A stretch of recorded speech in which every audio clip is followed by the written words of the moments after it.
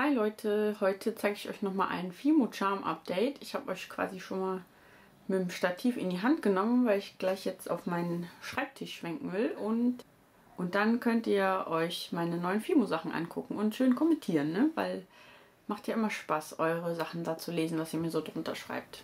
Das hier, das habe ich noch nicht gebacken. Das ist gestern erst entstanden. Und zwar habe ich eine Torte gemacht und die dann in acht so Stücke geschnitten und dann mache ich halt noch ein Eipin hinten rein.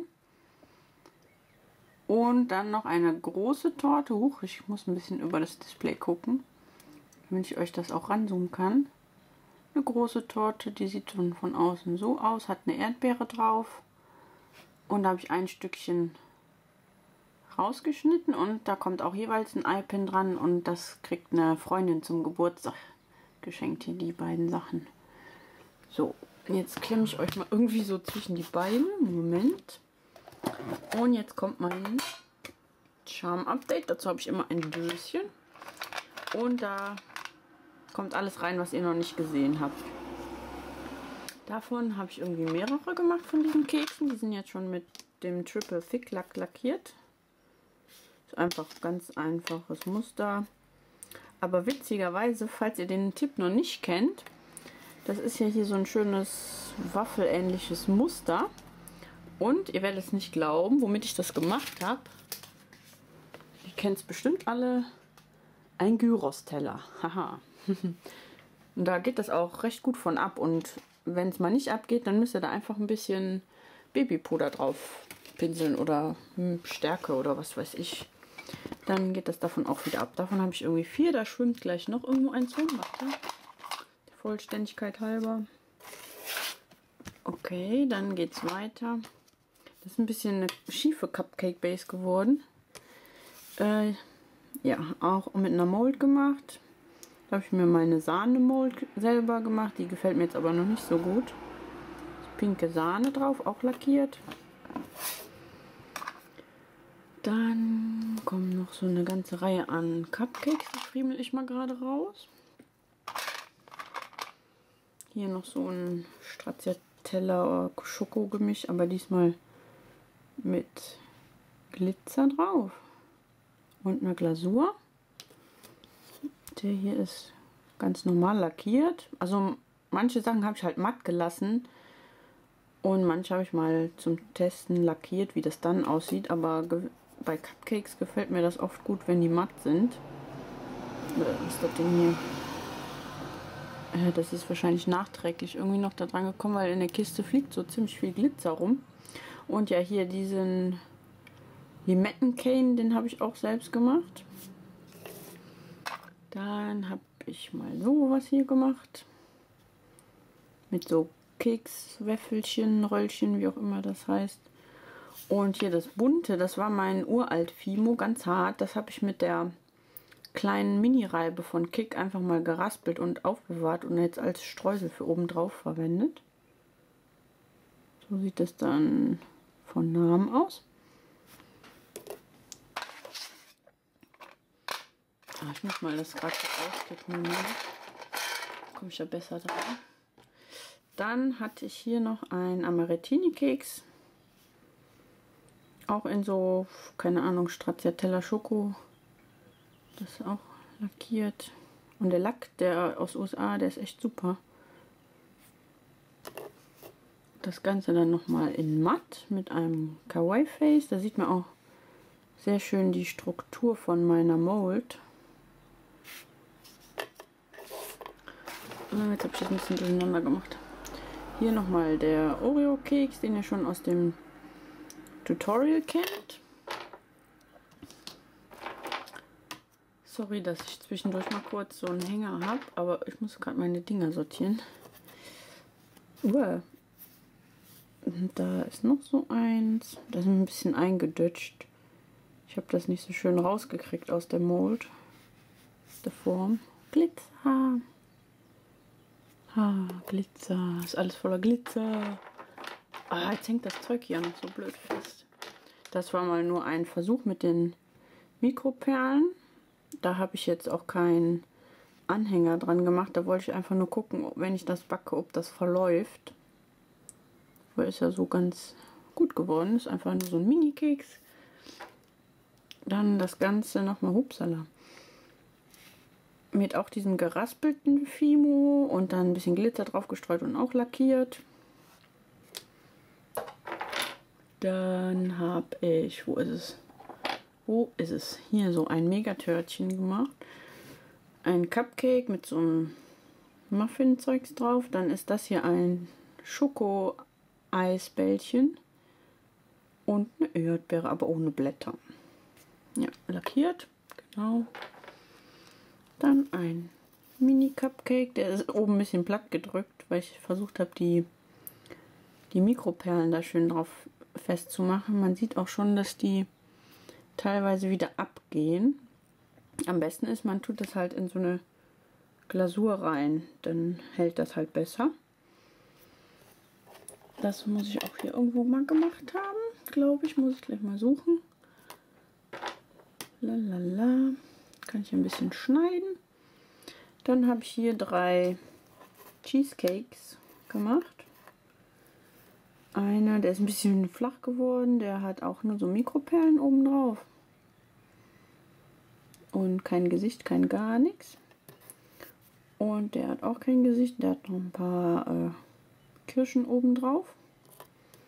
Und auch einer mit Kirschen. Da habe ich noch versucht, eine Glasur zu machen. Aber irgendwie ist das so viel geworden. Jetzt ist der Alpin irgendwie verschwunden.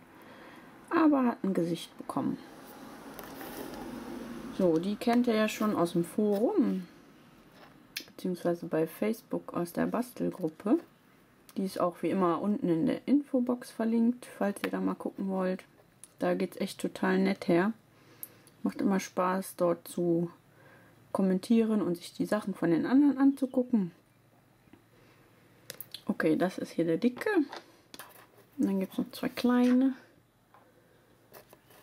Die habe ich jetzt auch matt gelassen. Die den mache ich vielleicht mal als Kettenanhänger und die dann eventuell als Ohrringe, weil die sind ja doch recht klein. Dann mal wieder ein Donut, ganz einfach. Nichts Besonderes gemacht. Dann habe ich noch einen Donut mit Glasur und Glitzer. Da habe ich in äh, Fimo Liquid habe ich da Glitzer reingemacht und dann drauf getan. Und dann halt zusätzlich noch lackiert. Dann noch ein Donut, wenn wir schon mal bei Donut sind. Hoppala. Der hat auch unten Glitzer, weil auf der Arbeitsfläche war total viel Glitzer auf einmal. Ja, easy peasy. Dann noch so ein krass glitzerndes Törtchen. Da ist mir irgendwie ein bisschen zu viel da rausgekommen. Naja, Dann habe ich noch das hier gemacht, eine kleine Zitronen-Schokorolle. Da habe ich die Zitrone einfach mit so einem Kletsch von der Glasur festgeklebt. Und dazu, wenn wir schon mal bei Zitronen sind, gibt es noch hier diese Tart. Da habe ich ähm, so gelbes Fimo mit weiß gemischt und dann viele kleine Stückchen. Das sieht man jetzt leider nicht, weil ja, dann halt noch äh, zum befestigen Fimo Liquid reingeträufelt und dann das Netz drüber gelegt und auch die Glasur und dann die Zitrone und da könnte man sich auch eine Kette von basteln. So, Glitzerdonut, den schieben wir noch hinterher. Der ist ziemlich hell, den habe ich jetzt nicht mit äh, Pastellkreiden noch äh, bepinselt. Da habe ich dann nur Glasur drauf gemacht und Glitzer und dann lackiert.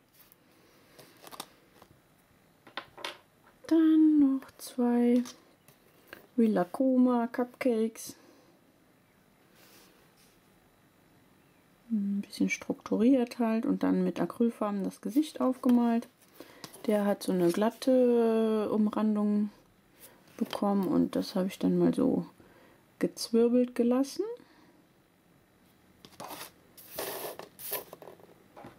Dann gibt es noch ein kleines Eis. Hoppala. Auch mit Füllung und wie konnte es anders sein? Mit Glitzer. Und den Stern, den habe ich mit so einem ganz kleinen Ausstechförmchen ausgestanzt. Und eine Praline mit Füllung. Und das Ganze wieder lackiert. Und ich hatte ja von der Kreative, hatte ich ja so, hatte ich euch ja schon, glaube ich, mal gezeigt oder gesagt, dass ich da Molds von machen wollte. Und zwar hatte ich ja diese, dieses Blümchen von dem einen Stand. Das habe ich dann quasi so abgedrückt. Und ich hatte auch diese Glitzersteine, wovon ich besprochen hatte, die habe ich dann direkt mal damit eingebacken. Und das wollte ich zum Beispiel mal auf meine Grußkarten mit drauf machen. Sieht ja auch eventuell mal ganz nett aus. Hier habe ich ein bisschen transparent Fimo mit reingebracht und dann hier so Türkis und ein bisschen blau-grün. So. Und das habe ich auch mit so einer Form gemacht und dann halt alles weitere. Entschuldigung. mein Husten, der geht ja einfach nicht weg, ne? so. Also das Reh habe ich auch mit der Form gemacht und dann den Rest aufgemalt. So. Dann habe ich irgendwo mal bei in einem Etsy-Shop hier diese lustigen Gefährten gesehen und wollte die mal nachmachen, ob ich die auch so einigermaßen hinkriege. Meine sind natürlich nicht ganz so schön geworden. Das ist ein Toast mit Erdnussbutter und, keine Ahnung, Pflaumenmus oder irgendeine so Blaubeermarmelade die Unterseite, die ist voll schäbig geworden. Da habe ich irgendwie nicht so drauf geachtet nachher.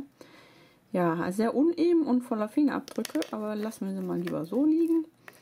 Wenn ihr das sehen könnt, der Toast ist sehr schön strukturiert, weil ich auch von so einem Mini-Zwieback von Brand habe ich mir ein kleines Förmchen gemacht und da kann man eigentlich super Toasts mitmachen. Ja, alle Augen, äh, das schwarze ist Fimo, der Rest ist mit Acryl drauf getupft. Und dann habe ich einen Skull gemacht. Den habe ich hier unten, der Mund, der zugenähte, ist halt auch mit Fimo. Und dann habe ich hier so Vertiefungen gemacht und die habe ich nachher mit Acrylfarben noch angemalt und zum Schluss lackiert. Und der hat auch Glitzer abbekommen, weil alles hier voller Glitzer war. So, und äh, was ich euch gleich eventuell noch als Bild dann einblende, ist die Kette, die ich für meinen Mann gemacht habe. Da ist auch so ein Totenkopf dran. Die hat er sich dann so gewünscht. Ich hoffe, euch hat es gefallen und ich habe euch nicht gelangweilt, weil das Video ist schon wieder über 10 Minuten lang geworden. Und hier nochmal alles im Überblick. Ta ta ta. So, jetzt habe ich euch alles gezeigt. Und jetzt kann ich wieder neu basteln. Also macht's gut. Tschüssi.